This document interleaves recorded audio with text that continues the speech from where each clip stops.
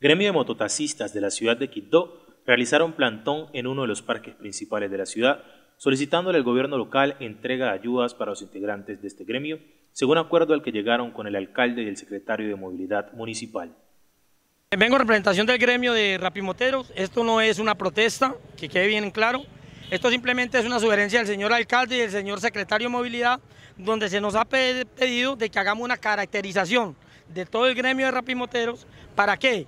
Para una ayuda que se ha comprometido el señor alcalde, el señor secretario, una ayuda que se les va a dar, una ayuda económica a todo el gremio de rapimoteros, más eh, ese acoso que tenemos de parte de las autoridades, a ver si de pronto cesa un poquito, ¿a causa de qué? Del hambre que está viviendo, estamos viviendo, nuestros hijos están muriendo de hambre. Este plantón solamente fue requerido por el alcalde, asimismo, él, él, ya, él ya con esta evidencia que le tomamos, él la va a examinar y asimismo va a ver que estamos unidos, que estamos haciendo las voces para que sean escuchadas y asimismo le busquemos soluciones a este gremio que nosotros a diario eh, le servimos a enfermeros, médicos, abogados, policías, a todo, todo el público en general, porque muchas veces no hay patasi, aquí todos los días no hay patasi, ni mucho menos, y más en épocas de cuarentena. Muchos se ven obligados a no coger un taxi porque no les alcanza y se ven obligados a coger una rápida. Entonces, si nosotros salimos fuera de este, de este espacio, de las calles, son muchas las personas que nos van,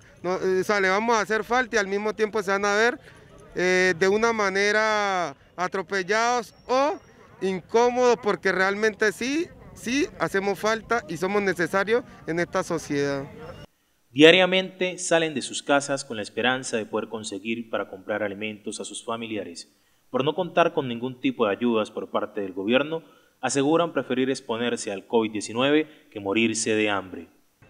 ¿Qué le estamos solicitando al señor alcalde, al señor gobernador o al representante hoy por hoy de la gobernación, ya que tenemos entendido que el señor gobernador quedó suspendido, es que se ponga la mano en el corazón Aplaudimos, señor alcalde, esos decretos que está sacando. Excelente, porque esto es por la seguridad de todos.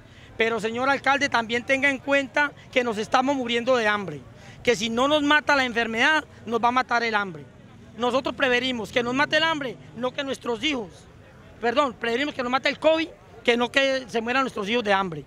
El mototaxismo es uno de los trabajos informales que más sustento lleva a la casa de muchos quitoseños. Ellos reconocen su situación e invitan a todos los habitantes de la ciudad que se dedican a este oficio a ser parte de esta caracterización que los lleve a pasar de la informalidad a la legalidad. Ok, tenemos que reconocerlo. Yo como representante del gremio acá de, esta localidad reconozco de que hay mucho desorden, ¿sí? Ha habido mucho desorden, ha habido mucha desinformación. Precisamente ahora está hablando yo a los compañeros de que le agradezco a todos los periodistas que se hicieron presentes, a Caracol, a CNC y a todos los de la radio, porque a través de ustedes los demás compañeros que vienen allá en las partes aledañas de esta localidad van a tener conocimiento de esto y se van a poner venir a afiliar acá. Porque no se justifica que 500, 600 eh, mototaxistas, perdón, que vemos acá, 80 se vayan a afiliar. ¿Y los otros qué? Entonces a través de ustedes, muy agradecido con ustedes, vamos a saber de que los demás compañeros van a tener también el mismo derecho que nosotros vamos a adquirir.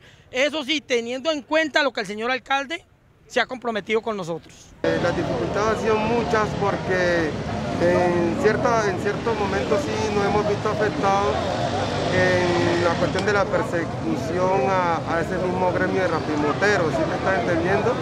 Entonces, esa parte sí nos hemos visto mucho afectados porque solamente del hogar, solamente estamos saliendo nosotros, estamos, estamos teniendo a todo el resto de la familia, mujer, hijos, padres, ahí encerrados y nosotros solamente estamos saliendo a mover ese mismo hogar que tenemos. Somos los únicos que estamos saliendo del hogar. Entonces, si nosotros nos quedamos, ¿quién se va a mover? ¿Quién se va a mover? Entonces necesitamos ser escuchados para sí mismos, ser atendidos y que nos tengan en cuenta en todas esas colaboraciones que nos están haciendo a nivel nacional. Reconocen que este medio de transporte es usado para otros fines, pero piden a la comunidad denunciar cualquier irregularidad en la prestación del servicio y no estigmatizar a todo el gremio por los errores de unos pocos.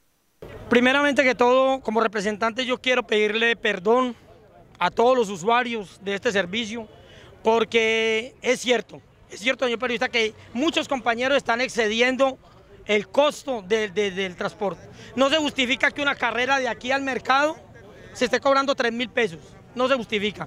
No se justifica que una carrera aquí a Medrano esté cobrando 4 mil pesos, no. Por favor, eso hay que denunciarlo.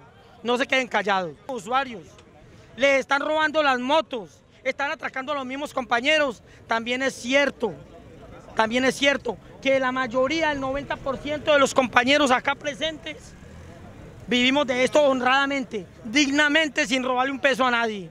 Por eso nos indigna de que siempre nos estén acechando, que nos estén estigmatizando como lo peor, como la calaña, como lo más bajo del pueblo. No podemos generalizar, señores y señoras, de que todos los compañeros sean así. Reconocemos que hay dos o tres que lo están haciendo, pero por favor denunciemos, porque no se justifica que por unos dos o tres toda esta comunidad honrada, humilde y trabajadora tenga que pagar por esos que no quieren trabajar. Exigen a la alcaldía municipal de Quito su colaboración urgente para poder formalizarse y trabajar sin inconvenientes con todos los protocolos de seguridad. Afirman que en caso de haber alguna inconsistencia con la documentación exigida, se les sancione según la ley. Aseguran no estar formalizados aún porque se les han puesto trabas en el proceso de legalización.